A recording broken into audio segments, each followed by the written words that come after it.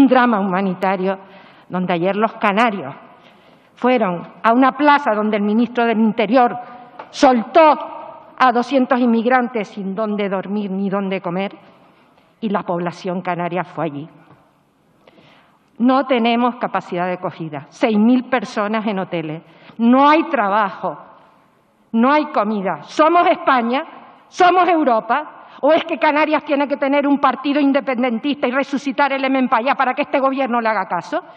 ¿Es que la Unión Europea no considera Canarias Europa y territorio continental? ¿Es que tenemos que ir a la Unión Africana, a Mauritania, a Marruecos o Argelia para que resuelva el drama humanitario y el drama social de Canarias?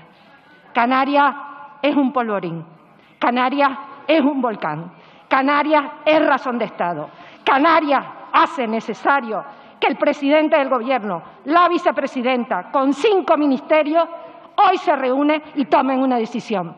Ayer anunciaron que habían empezado las repatriaciones. Un avión con ocho marroquíes y 16 policías. ¿Eso es repatriar a Marruecos la gente que está viniendo? Hagan caso a ACNUR. Hagan caso a la Asociación de Ayuda al Refugiado. Hagan caso a Cruz Roja. Hagan caso a Podemos que pide la dimisión de Marlasca.